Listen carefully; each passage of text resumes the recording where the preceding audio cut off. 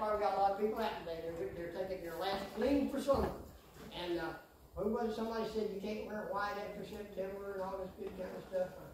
I, I don't pay no attention to that. Amen. Matter of fact, I just tell Joy, pick me out whatever you want me to wear.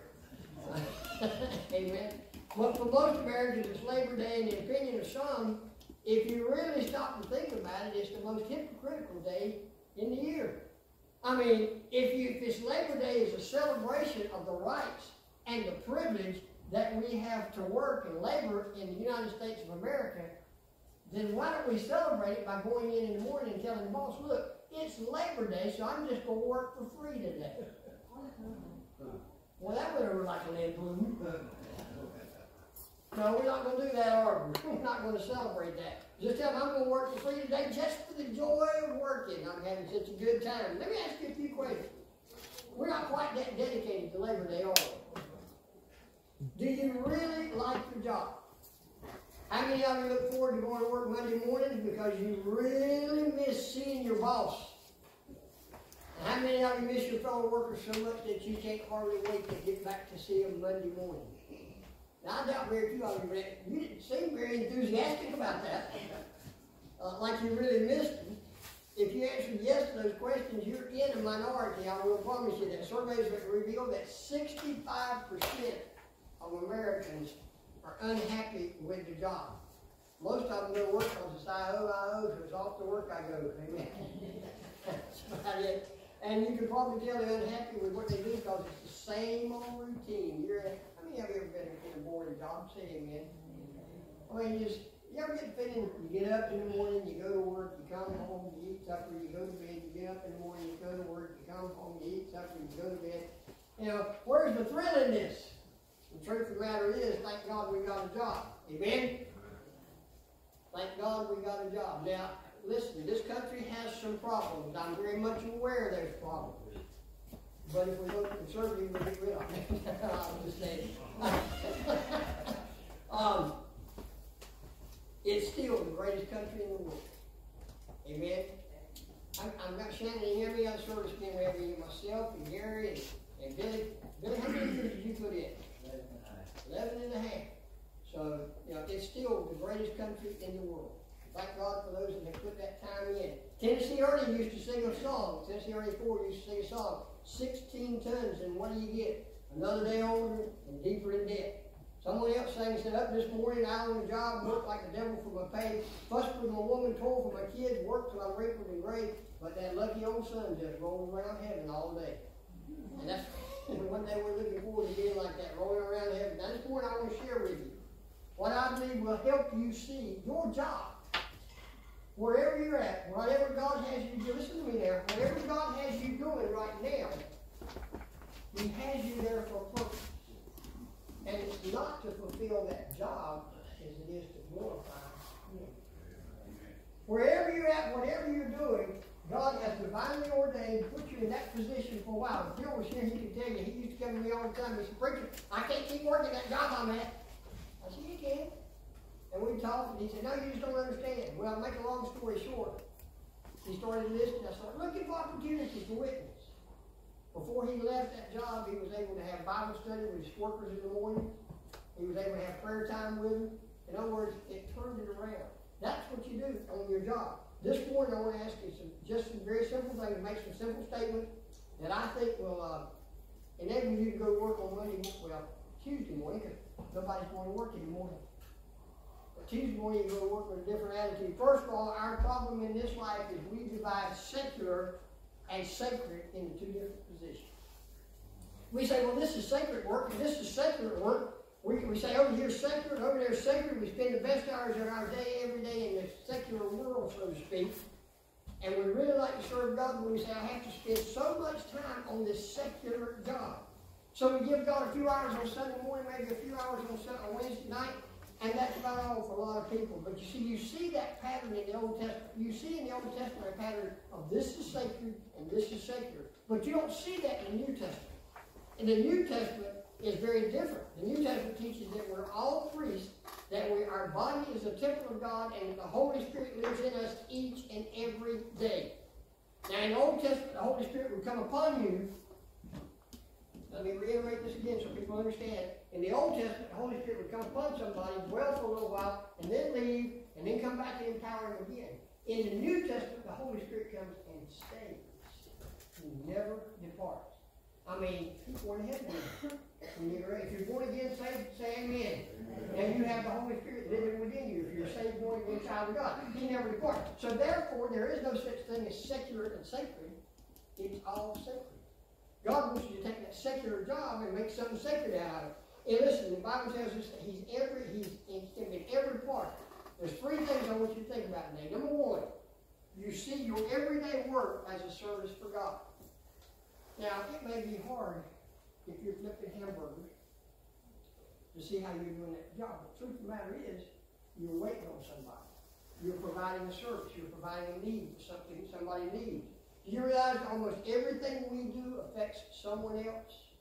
We have food because they're farmers. We have uh, um, uh, tables and chairs because they're people that can work on wood, work with wood and make what we need. Everything that you do affects somebody else. Jesus spent the first 30 years of his life in a little town of Nazareth helping his earthly father in, in the carpentry shop. Why? Because work is important. So you think you just went out and found that job. If you're a child of God, God doesn't have any accidents. You didn't find that job accidentally. God sent you there. You say, that's divine providence. Yes, it is. God has all things in control. By the way, sometimes we try to change jobs before God gets ready to move us. Amen. We try to change jobs before God gets ready to move us. If God won't move you, He'll move you. Give Him time. And I once in a while I preach this, I preach this before people say, yeah, I've never thought about my job as being my ministry. Your job is part of your ministry. If you're a child of God, you're somebody says, preacher, you're a full-time minister. And I got news for you. You're a full-time minister too. Amen? You're, the Bible says we are full-time ministers. We're just work a secular job part-time, but we're to take that job and minister through that job. Have you ever thought about that? Find ways in your job that you can minister to the people around you. Now, I'm going to try to tell you how to do that before we close here today. But first thing I want you to realize is that you, your, your work is a service for God. By the same time, remind me, listen, we have responsibilities. We, what we say, what we do are important. And it makes a difference to people around you. How many of you know what you say makes a difference? You can hurt somebody's feelings with what you say. Or you can build them up with what you say. You can tear them down or you can make them feel like they're the most important person in the world. Or you can make them feel like they're that small just by what you say. And by the way, just so you know, you don't have to cuss somebody out to do that either. Amen? My wife will tell you, I, am better now than I used to be. but I used to be able to cut somebody down just by that and never say anything wrong. Just be frank. Sometimes, it's not what you say, how you say it. Amen? So, I'm working on it. I'm not there yet. So don't look at me like I am. And don't expect me to be. I'm working at it. I'm getting there. I ask God to help me every day. But what you build people up. So when you're on the job and you're working with a coworker and he does something that's just plain stupid, don't tell him that. Just say, why don't you try doing it this way? Let's try a different approach to it. And encourage him and lift him up. You serve God. Listen, Paul said in Romans chapter 12, verse 1, Therefore, brothers, by the mercy of God, I urge you to present your bodies a living sacrifice holy and pleasing to God. This is your spiritual worship. We serve God in the way we work and where we work every day. Number two, you can serve God where you work. And people say they tell a preacher, you don't know where I work. You don't know my boss. You don't know the people I have to work with. You don't know the power struggles that go on. You don't know about the flirtations at work. You don't know about the cursing. You don't know about the dirty stories. You don't know about the pornography passed around. Ephesians chapter 6, verse 5. I read that to you. Slaves, obey your human masters. I'm going to put the, I'm going to replace the word slaves there with workers.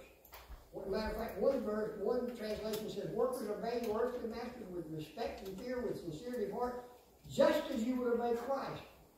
Obey them not only to win their favor with their eyes on you, but like slaves of Christ, doing the will of God from your heart. That's interesting. What he's saying here is even though your, your boss may be a two-legged monster who's about to pay about as pagan as anyone you've ever seen, do your work for him as though you were doing it for Christ. That's what he says. Are you understanding that? He may be a pagan. He may be one that you you think, well, he's as far from heaven as he can ever get. That's all right. Do the work in him just like you were doing the work for Christ. Do what he tells you, when he tells you, the way he tells you. Amen. And by the way, that don't mean questioning, and it don't mean one go off and mumble under your voice either. Amen. Preach, preacher, that's right. If I have to amen and preach too, it, it's going to take twice as long.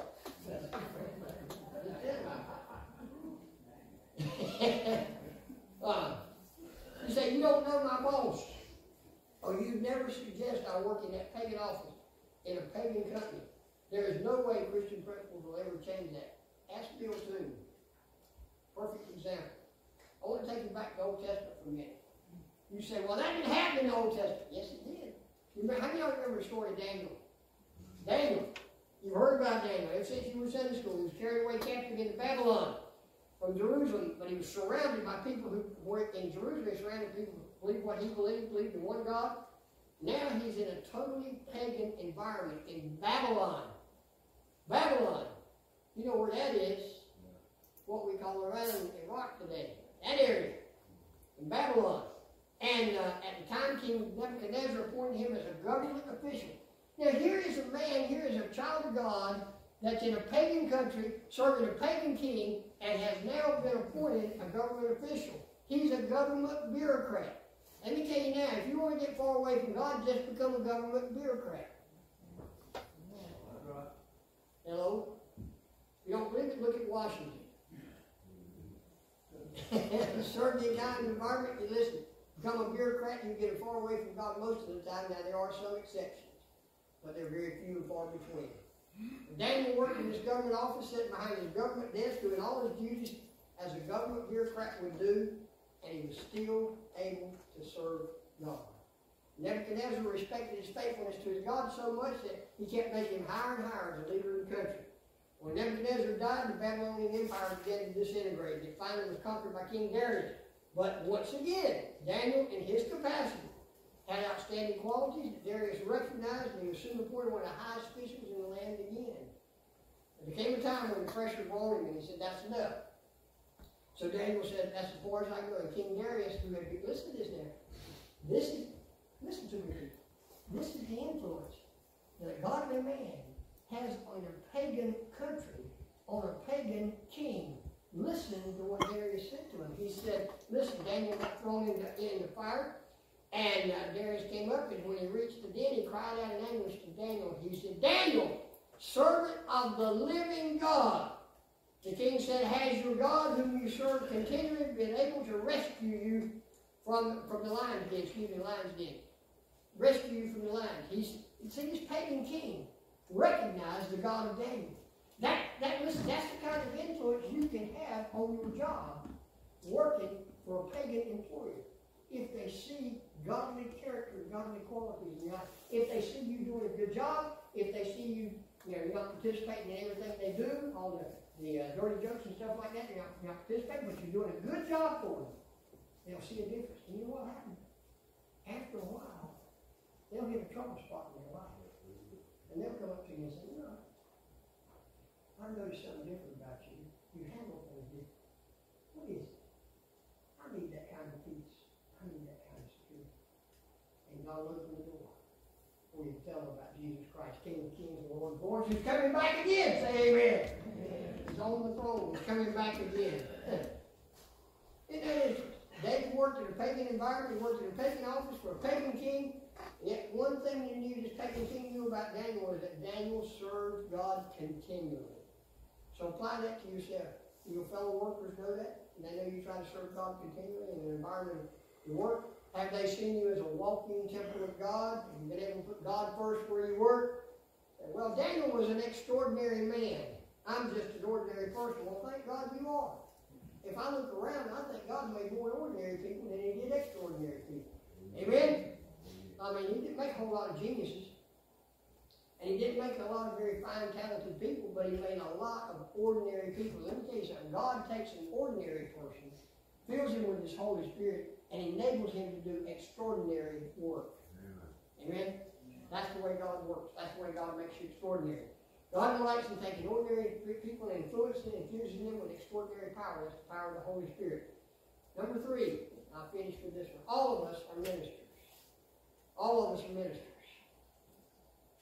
I wish I, I people say, I wish I could do what you do. I wish I was a preacher. Now I will tell you, before I was a preacher, I spent years working in secular jobs. I was, I've been here.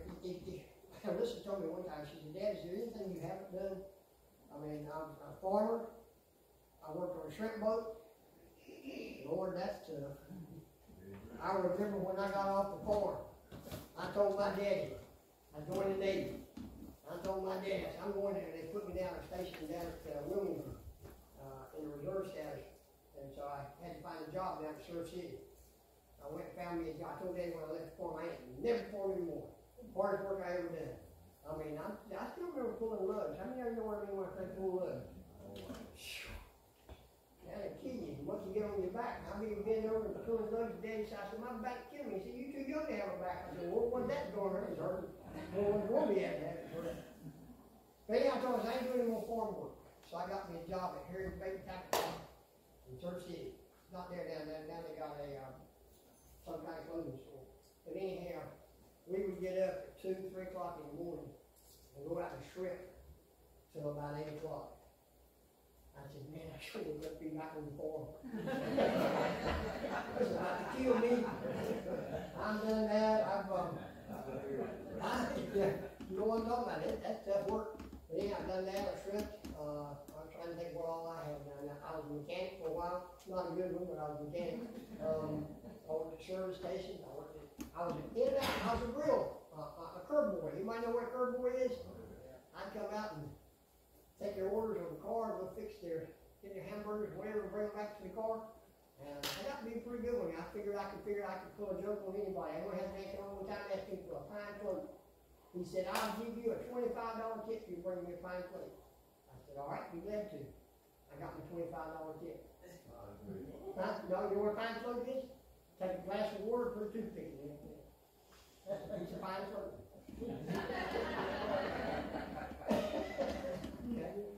So, yeah, I had, I had looked at whatever I've done, I've always tried to have fun.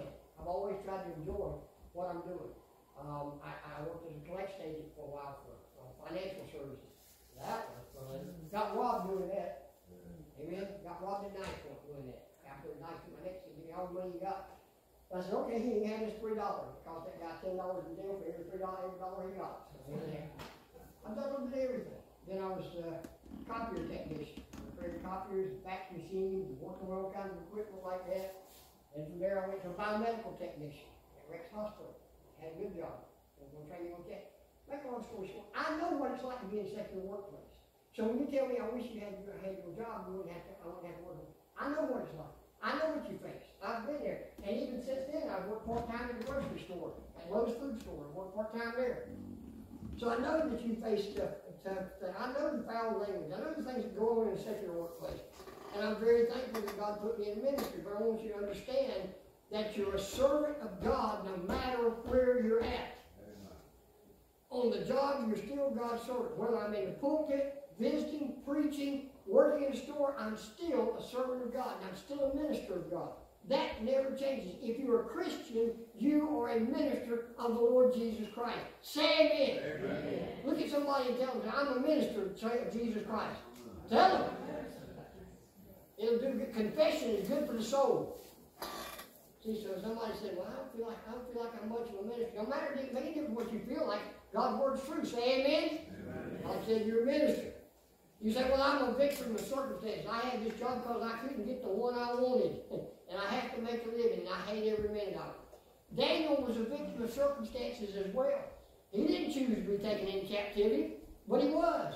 Why was Daniel in Babylon? The answer is, listen, in verse Jeremiah 29, 7, God said, I have carried you into exile. I have carried you from Jerusalem to Babylon. I have caused you to be carried away from Jerusalem Babylon. God said, you're here because I sent you there. I say again, if you have a job, you were there because God, if you're a child of God, because God put you there. Amen? And He's not going to let you leave till you get ready. That's what I kept telling you to God ain't going to let you leave till He gets ready for you to leave. Listen, the Bible tells you that, listen, he's a victim of circumstances, but it's where God wanted him to be. The Bible teaches that you can overcome evil with good. Say amen. You've always heard one bad apple for the whole barrel. And uh, so long that we think the bad always wins, but I good, good, and the good never is, but I'll tell you something, good always wins. The Bible teaches we can overcome evil with good.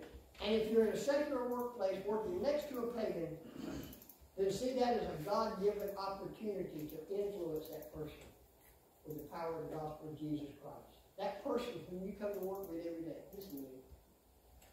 That person who took the time the other day to tell you, man, let me tell you what. My wife and I went and we bought this brand new car, and that thing just as nice as it can be. It a parallel park itself. You know, and I'm just so happy with that thing. And you see the joy and the enthusiasm from his voice as he's telling you that. Share his joy and his enthusiasm. And when he comes up to you and he says, let me tell you, my teenage son has given me the toughest time I've ever had. I don't know how I'm going to deal with it. Stop and take the time to listen and empathize with him on what he's going through. And share, what I'm saying to you is that worker that you're next to, that pagan that doesn't know the Lord, share what they're going through. Bear their burdens with them. Laugh with them. Cry with them. Talk with them. Let them see Jesus Christ minister through you. Amen? That's what you need to do. That's how you're going to win. Now, there's a couple of things I want that I don't want you to do. It's, it's called that's called lifestyle evangelism. It's living the life of Jesus Christ. But here's some things I don't want you to do, and I'll close with these. First of all, don't brag. Don't go to work and brag about how wonderful your Christian life is.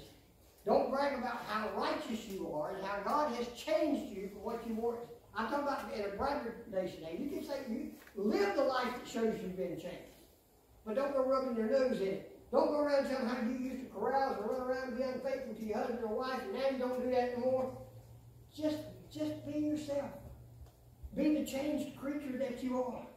So don't brag, and then don't nag. Don't brag, don't nag. Don't carry a big Bible under your arm, and every time they say a curse word, say, you're going to hell for that. Amen. They like to take it and hit you over the head with it. Say amen. You know I do.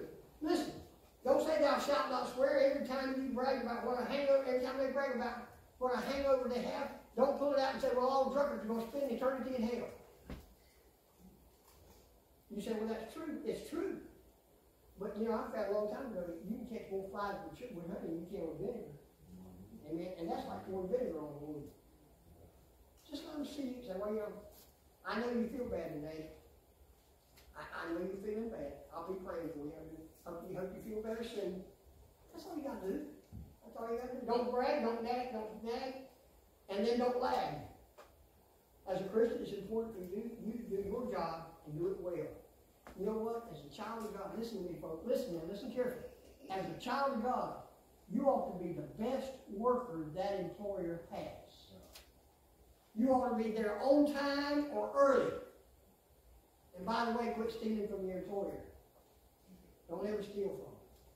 How many of you here ever stole from your employer? Yeah. So how did I do that? The matter is, I'm lying right now. Let me just give you an example. You get a 15 minute break. You ever take 20? You just stole five minutes. Boy, it's quiet in here. Shannon didn't usually this quiet. I don't know what's going They don't do it. So that's what I'm saying to you. That's how, listen, you ought to be the one that goes on break on time, comes back on time, or a few minutes early. You ought to be the best employer that that, that, that employer has, the best employee that that employer has. You ought to be setting the example for the others around. Go out of your way. If you're lazy, if you're slothful in the job, then that's a poor testimony for the Lord. So you do your job and do it well. So then fourthly, don't, don't sag. Be careful. Don't go back to your old lifestyle. Be really careful not to listen to their language and start to use it yourself. Be careful not to see the bright lights and the distant cities that you used to go to and be enticed. Um, as I said, if you keep your eyes fixed on Jesus, after a while they'll come up to you and say, I noticed you different. What caused that difference? And then you'll be able to tell them. Because they're hurting. You know what? Most of the time I found people have the biggest smile on their face a lot of times have the greatest hurts in their heart. Amen. Back in the cha- 29th chapter of Jeremiah, God gave instructions to the children of Israel as to how they should behave in a pagan environment. This is how he said behave. Jeremiah 29, verse 5 through 7. Build houses and live in it. God's talking to the people of Israel in a pagan nation. He said, Build houses and live in it. Plant gardens and eat their produce. Take wives and have sons and daughters. Take wives for your sons and give your daughters to men and marry so that they may bear sons and daughters. Multiply there. Do not, uh, do not decrease. Seek the welfare of the city. I have uh, uh, seek the welfare of the city I have reported to you. Pray to the Lord on its behalf, for when it is have prosperity, you will prosper. Pray for it. Those are some very practical instructions for living in a pagan country. I think they're very practical instructions for working in a secular pagan environment. I think they're, listen, we're in exile. This world is not my home, I'm just passing through. We're in exile, but we're here in this country. In the meantime, I'm here, and while I'm here, God said, settle down, build a house, plant a garden. No, Lord, I don't want a farm. Get married, have children. Find wives for your sons. Marry your daughters off. They too will have children. Go out and work and prosper, because as the city prospers, you too will prosper. You say, you say, to be a God person, you got to be different. And yet blend into society. Don't give in to their way of doing things. Daniel didn't, Shadrach, Meshach, and Abednego didn't give in. They went so far then they said, this is as far as we go. Now, when, when your employer, listen to me, I'm going to get pol- politically incorrect here. I never have been politically incorrect. When your employer asks you to do something that is contrary to the Word of God, contrary to you know what God would have you to do, that's when you draw the line. Alright? And God is my employer. I'll just give you an example. We have it in our Constitution, yes, I'm never going to ask it. Tabernacle Baptist Church will not perform a same-sex marriage. Amen. I'm saying we're all right. That's contrary to what God says in His Word. We're not going to do it. So if your employer asks you to, to cheat somebody, to steal from one of your one of his customers, that's contrary to the Word of God. Say Amen. And I'll tell you something. God will honor you if you take a stand in that in that situation. But short of that, if He asks you, if He says, "Look, I know you worked 45 hours this week, but I really need another 15. Can you do it? If you can do it, do it. Now, if you got an emergency at home, you can't do it. But I'm saying if you can do it, do it. Honor Him. In so doing, you honor God. Put that, that Lord, I know, I know I need that here, but I want you to put that verse back up again, Ephesians 6 5, if you can. Just throw it back up there. Um, because that's what we're supposed to do. We're supposed to honor God in all we do for the Lord Jesus Christ. He, he said, uh, we call it workers, obey your human masters with fear and trembling, in the sincerity of your heart as to Christ. Don't work only when being watched in order to please men, but as slaves of Christ, do the will of God from your heart. That's what we're to do as Christians. So, carry it in your heart this morning. Take it to your workplace Tuesday morning. Now, you take it to your workplace the morning if you want to, but you probably don't over there. Think you said exactly everybody's there. But take it Tuesday mornings, I'm gonna go in, and I'm gonna labor to the best of my ability, to bring honor and glory to the Lord Jesus Christ. Not to please men, but to please God. Heads are bowed, eyes closed, and let me ask you a question. You're